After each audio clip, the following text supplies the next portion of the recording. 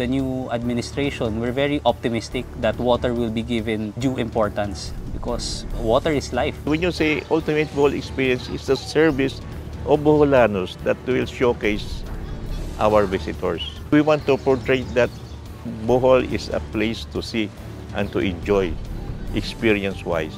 I welcome all the investors as long as they will observe the environmental uh, programs, marine environmental protection. Open for Business is in Bohol and Bohol is open for business.